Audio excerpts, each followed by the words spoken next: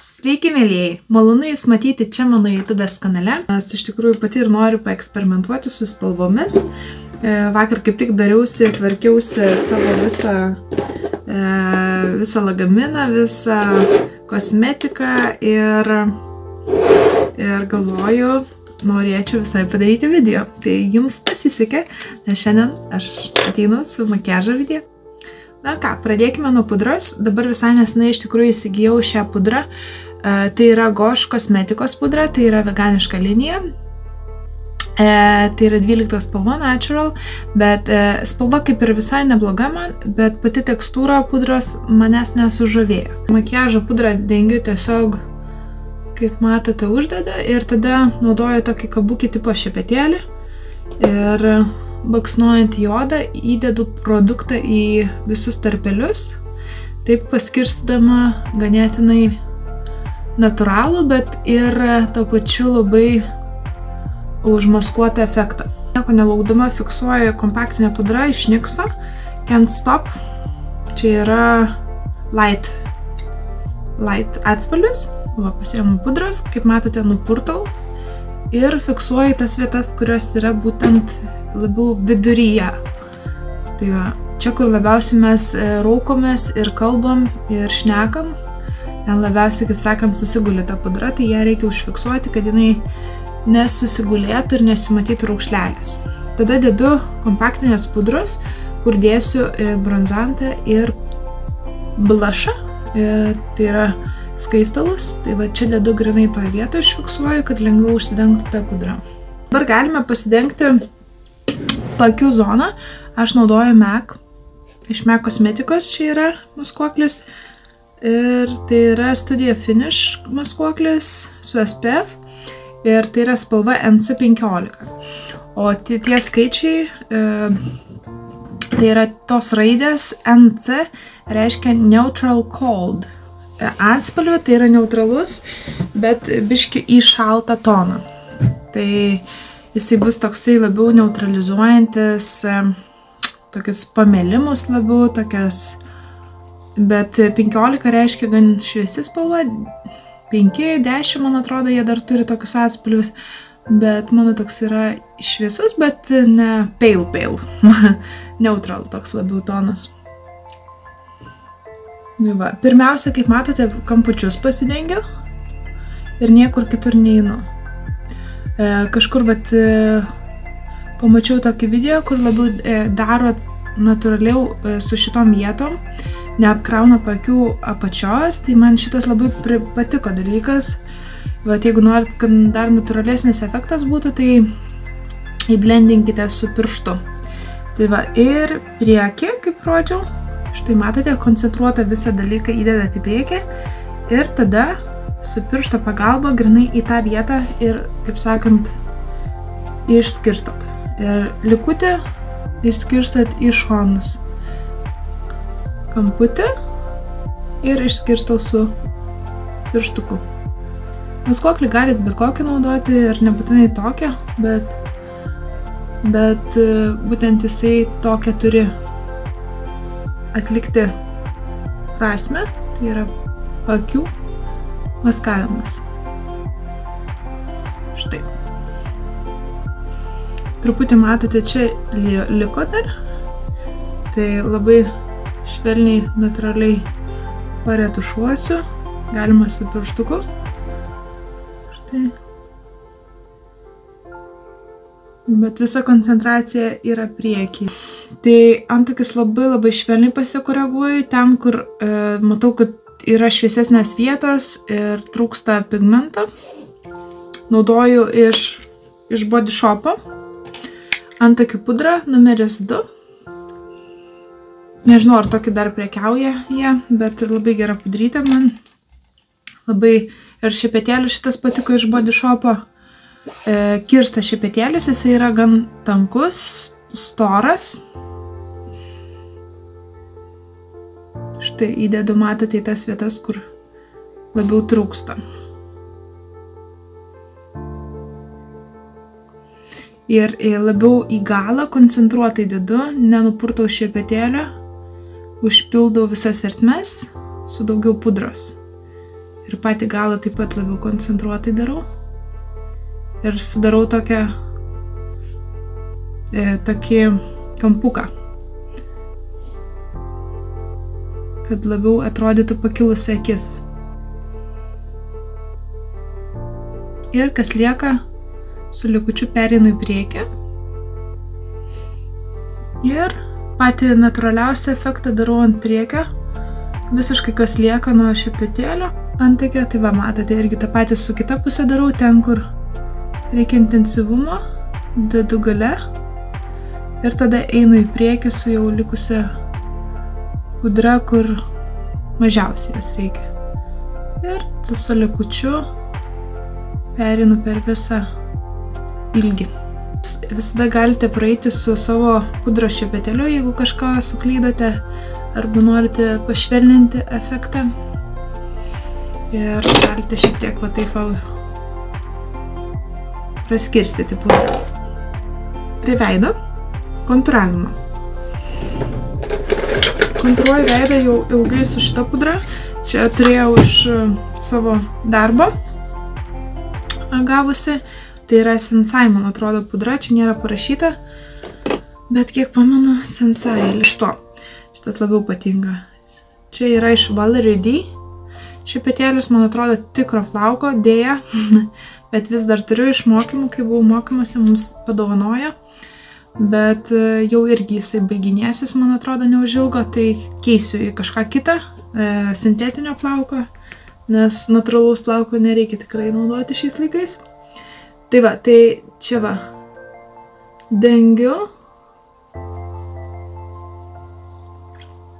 Nuo ausies kampučio matote viršaus, dengiu palei kaulo apačią ir užbaigiu prie akies vidurio. Dengiu ir ant a, ausies kampučio, kad viskas atrodytų kuo natūraliau. Tada va, dengiu ant šitos vietos šiek tiek.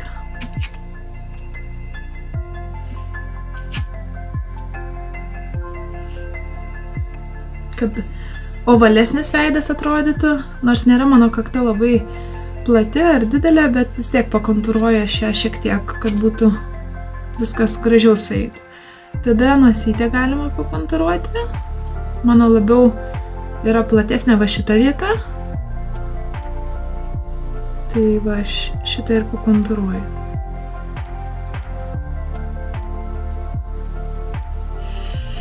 Taip, ir dengiu tą patį po akim. Kontūravimo priemonę. Bronzantą dar kitaip, kad iškelti į viršų šešėlį padaryti, va, štai šitoj vietoje ir atrodys akis labiau pakilus. Štai taip, nes mano akis yra gan užsidėjusios dvigubai, žinote, ir man reikia to pakelimo daryti su visom priemonėm. Dabar skaistalus naudosiu, kaip ir sakiau, tie pigus produktai taip pat gali neveikti irgi, kaip ir e, brangus. Tai vienas iš jų yra šitas pavyzdys. Deja, bet tai jau nusipirkau, tai sunaudosiu šį, e, galbūt vėliau įsigysiu kitą, e, jeigu kantrybė neleis man, nes jisai kvepia gan skaniai, bet nelabai veiksmingas yra, kaip čia pasakyti. E, galbūt spalva ne, ne visiškai mano, kurią išsirinkau gera, bet pamatysit, jisai visai ma matosi, kaip pasidažo, bet labai jo, matot, reikia dėti, dengti, dengti, dengti, kol pasidengia ir, ir nėra, kad labai gražiai dengtųsi, žinote, kad labai, nu taip, patogiai dengtųsi. Čia irgi yra Rivalda Loop iš Drogo, man atrodo, pirkau.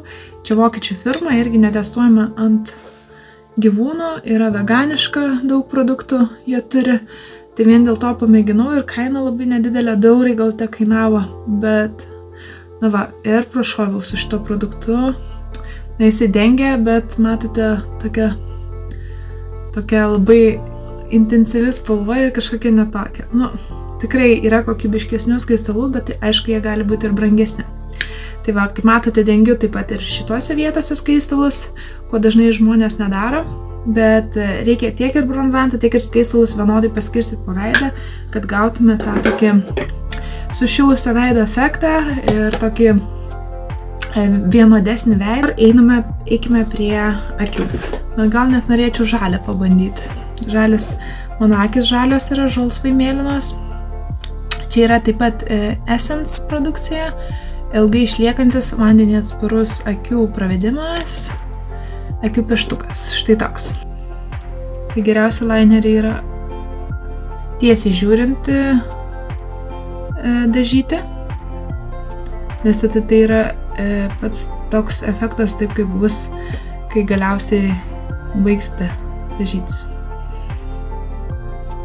Ir visada pieštuko linerį galite pakoreguoti su teptuku, kas ir yra labai labai smagu. Tai va, pasimsiu dabar teptuką. Tokį, va, matote, čia yra iš Urban Decay, jau tokių nebeprekiauja, bet kažką tokio panašaus galite. Aš dar turiu va, iš, iš Meko jau senesnį šepetuką tokį. Šitas biškai labiau yra minkštesnis, jeigu matote. O šitas šiek tiek yra toks trumpesnis ir kietesnis.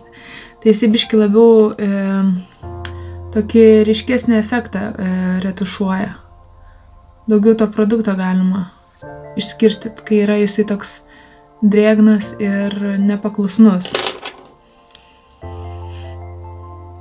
Nes šitas lineris jis yra toks skistai sausas. Tai toks va, įdomi ta tekstūra, bet jinai dėl to vat, laikosi. Tai aš dažniausiai taip darau, čia šiek tiek staresnė E, storesnę vietą ir tada čia nuplonėja iki akies vidurio ir va čia apgaubė šiek tiek. Kartais net įdedu kelis lašelius ir čia va, kad dar labiau e, praplėstų akį, tada išretušuoju, bet labai labai arti dedu čia, nededu čia vat. Ir tada vat išretušuoju ir apgaubiu kartu su šita linija. Ir tada matote, akis tokia daug platesnė ir labiau į viršų pakelta. Tai dar galima koreguoti, dar kelti, kelti. Tas dabar labai toks populiarus tas dalykas, tą akį šiek tiek pa, pa, patraukti į viršų, kaip sakant, patemti ją. Tai va, tai kuo ploniau, vėliau iš, išplonėjo tas va, lineris ir dinksta į nieką. Tai visada va, pridėkit daugiau priemonės ir po truputį, po truputį retušuokit, kol gausis. Ir kuo mažiau priemonės, to geriau, tuo mažiau e, apsiterliosit, kaip sakant. Ir šitas įvaizdis gali netgi ir būti ir dieninis. Tai jeigu daugiau jokių produktų nedėsite, jokio skaisto, jokių šešėlių daugiau, tai šitą ir dieną galite tokį užsidėti, tiesiog paryškinti akį, užsidėti tušą ir viskas. Taip. Ir dar galite, aišku, ir į vidų įdėti to lainerio, tai šiek tiek toks e, katės e, akių įvaizdis gausis. Štai iškėliau, kiek galėjau, kuo aukščiau. Ir taip pat ir kita akis. Taip, aš vis tiek, kadangi darau tokį ryškesnį šiandien įvaizdį, tai norėčiau naudoti ir šešėlius. Tai naudosiu tokią turiu paletę iš Morphe. E, tai prieš išeinant į dekretą nusipirkau ją ir labai nesigailiu, iš tikrųjų labai gera paletė.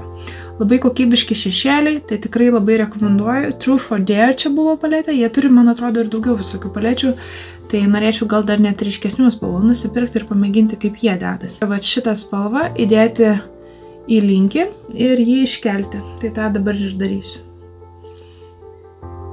Dedu va koncentruotai į tą vietą, Kadangi mano akis yra parkritusi, tai aš ją šiek tiek iškeliu šešėlį padėdama aukščiau ir vizualiai akis atrodo atviresnė.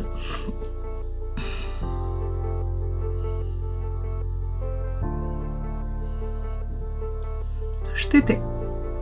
Matote tokį skirtumą.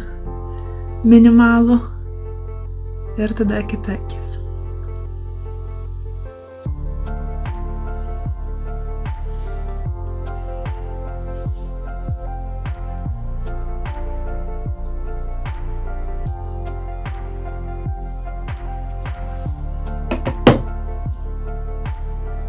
Ir tą patį darau ir apačioje. Sudarau šešėlį, kad yra apačioje irgi šešėlis krenta. Bet labai švelniai tą darau. Taip. pertekliau visokių šešėlių nukritusių, nuvalau su pudros šepetėliu. Dabar galime dėti šiek tiek ryškesnį šešėlį priekyje.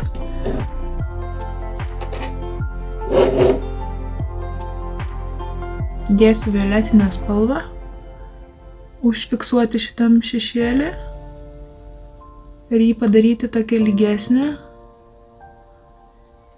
Truputuką dedu ją. Štai taip.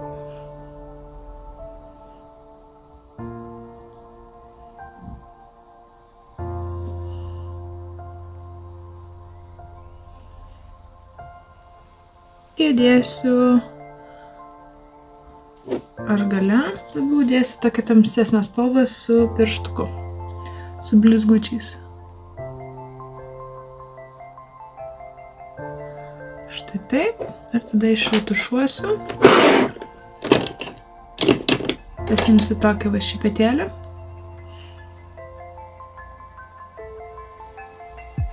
Gilesnė, į gilesnę duobę retušuoju.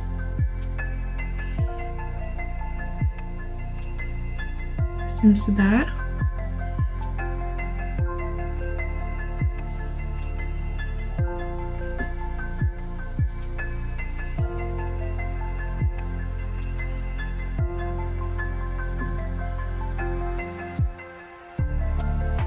Tai va, į pačią gilumą, kaip matote, kur mano yra tas visas. Ir neinu labai giliai.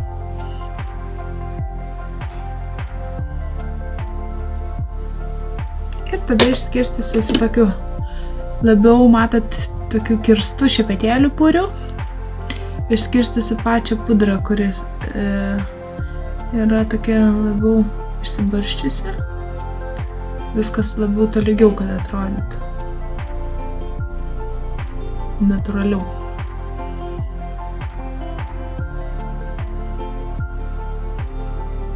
Ir priekyje norėčiau šviesesnės spalvos. Tai turiu tokį baltą iš Nikso šepetėlį e, šešėlį. 608 spalva.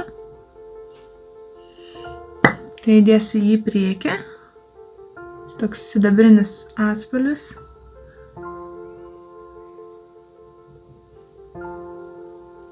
Ir su pirštu šiek tiek išskirstau.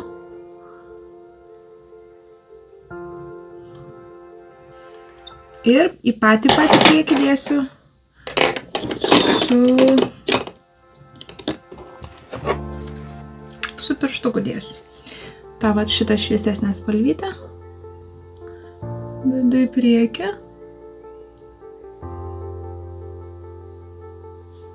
Štai taip.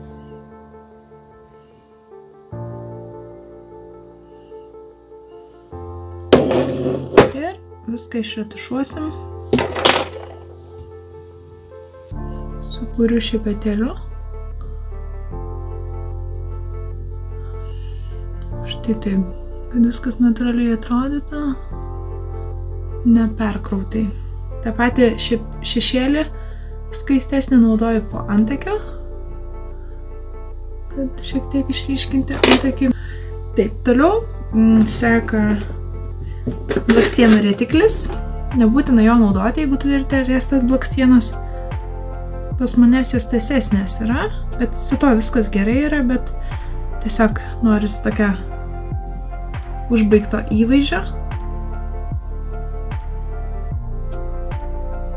tai šiek tiek pariesiu. Naudoju savo mėgstamą labai tušą, šitą tikrai galiu rekomenduoti, kurios turi tiesias ir trumpas blakstienas. Jisai labai gerai, gražiai užkabina blakstienas ir e, iš tikrųjų jas išties, išilgina ir ištankina. Tai labai šitas geras šepetėlis būtent tokiom blakstienom kaip mano.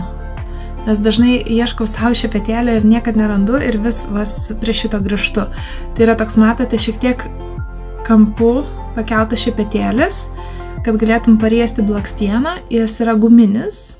Tai vat e, labai gerai ištempia blakstieną, kurios pas manęs nėra tiek daug.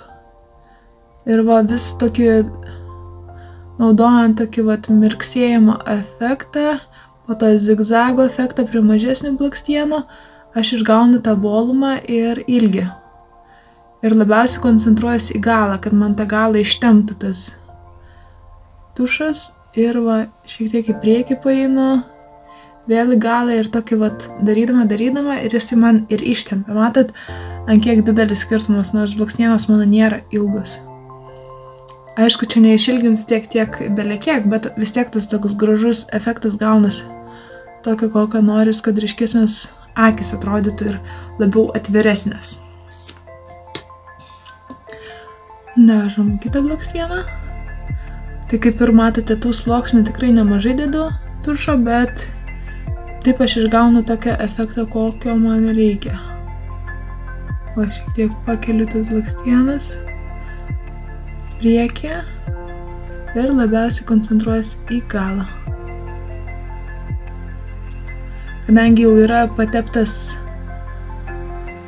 e, šešėlis e, tamsesnis, tai viskas, kas su tušu ten matosi, nesimatys, nes tas visas perteklius šiek tiek padažome apatinės blakstienas, bet nepersistengim.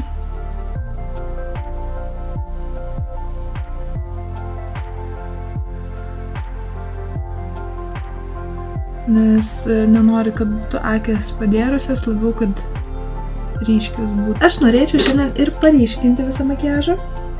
Tai šiandien naudosiu ir e, raudoną lūpdažį. Išbandysiu.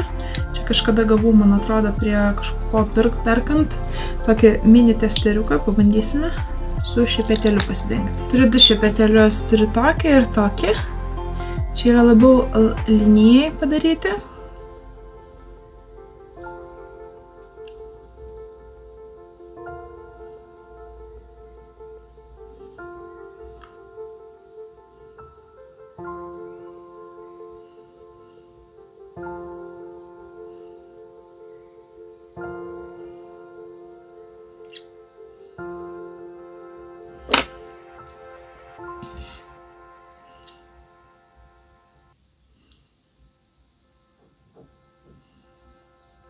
Galite dengti ir su pirštu, gausite dar natūralesnį efektą. Galite išgauti labai natūralų. Čia toks žiūri šiek tiek į rožinę eina toną, nors čia atrodo raudonas.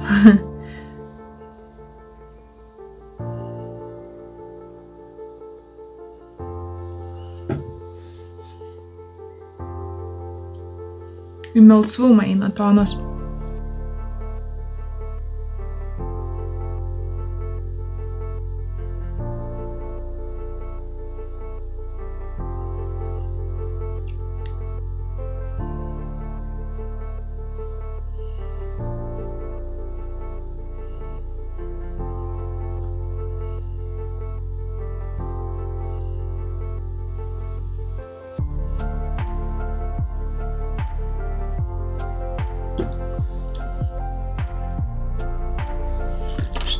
Ir dar ant viršaus uždėsiu dar kitą lūpdažį ir dar šiek tiek pakoreguosiu, nes man spalva, mm, dabar galvoju, ar turiu aš raudoną grinai lūpdažį. Raudonas. Toks tamsesnis šitas, bet kaip ir visai neblogas spalva. Kaip ir tiktų labai daug išsimečiau dalykų, tai va. Štai tokią aš galbūt iškojau. Ir turiu dar pištuką, tai šiek tiek dar aplyginsiu su pištuku.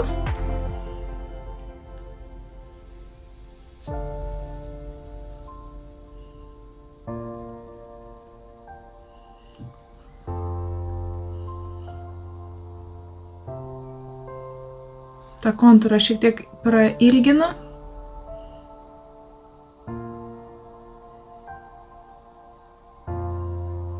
Ir padarau lygesnį ir labiau užpildytą.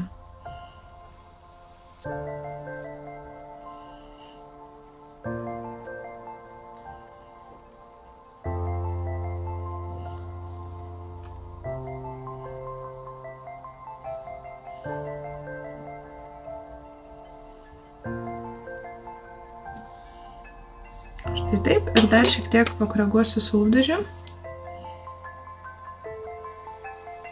Jau net nebesakau, ko naudoju, tai iš meko yra spalva rubivų.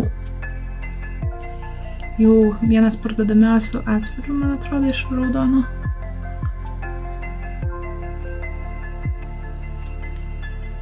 Tai biškai labiau paspaudžiu, kad spalva ryškesnė būtų.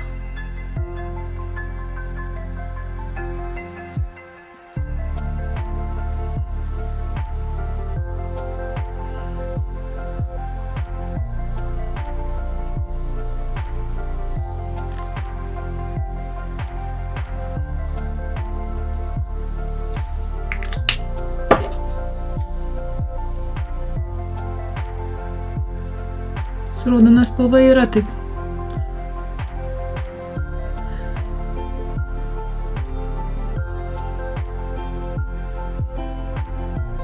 Gan sudėtinga dirbti, nes jinai nėra labai palanki linijom, bet hmm, that's ok.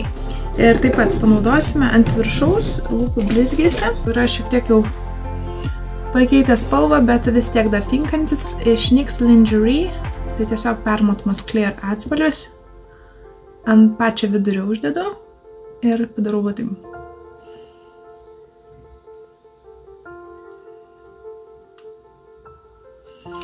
Ir gausiu šiek tiek drėgnesnis efektas.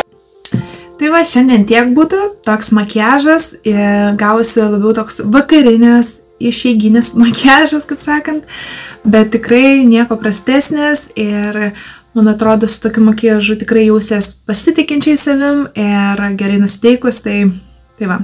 Tai sėkmės, kur be keliautum, ką, ką beveiktum, pasižiūrėjai šitą makiažą, galbūt į, įkvėpimas ateis ir jums pasidažyti, nes žinau, kaip būna mamoms, kad e, aptinkstam, kad šiek tiek, ne tai, kad aptinkstam, bet nėra to noro iš tikrųjų puoštis, ruoštis kažkur, net nėra kažkur eiti kur eiti ir, ir visa kita, bet e, kartais mus vis tiek jisai pradžiugina, nes esam moteris ir mėgstam pasipuošti. Tai, tai va, su, su, su tokia gera nuotaika ir užbaigsiu šitą video. Ačiū, kad žiūrėjai.